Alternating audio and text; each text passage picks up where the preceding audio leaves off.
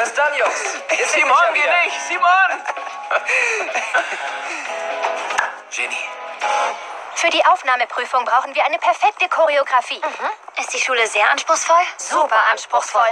Genau deshalb wäre sie ja unser Traum. Kann euch da keiner helfen? Nein, weil Jam nicht will. Jetzt bleib bei der Wahrheit. Ich will nur, dass sich Ramiro aus meinen Angelegenheiten raushält. Aber Ramiro will uns doch nur helfen, Jam. Was hat das damit zu tun? Hier, genau das meine ich, Ramiro. Er ruft sicher wegen der Choreografie an. Ach, Jem, der braucht doch nur einen Vorwand, um mich anzurufen, okay? Es dreht sich nicht alles nur um dich. Hier, jetzt ruft er mich an. Wehe, du gehst da ran. Wieso nicht? Ich kann doch mit ihm reden, auch wenn du mit ihm Schluss gemacht hast. Äh, Mädels, Mädels, wartet. Ich meine, das lässt sich doch alles lösen.